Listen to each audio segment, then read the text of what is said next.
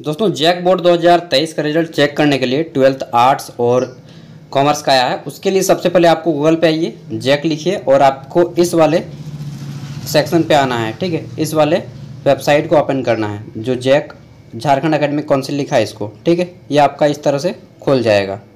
और खुलने के बाद क्या करना है? सबसे पहले आप अपना रोल नंबर और रोल कोड नोट कर लीजिए।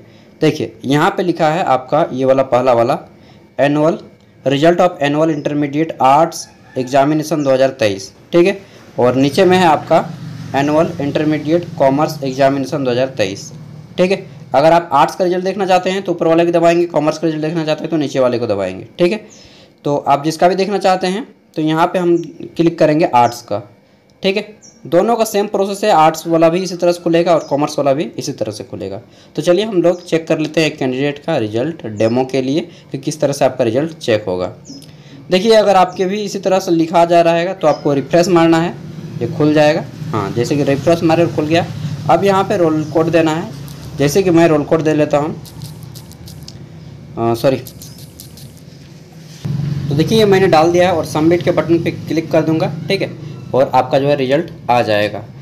तो देखिए, ये खुलने में इसी तरह से आपका भी टाइम लगेगा। देख लीजिएगा, हड़बड़ाइएगा नहीं।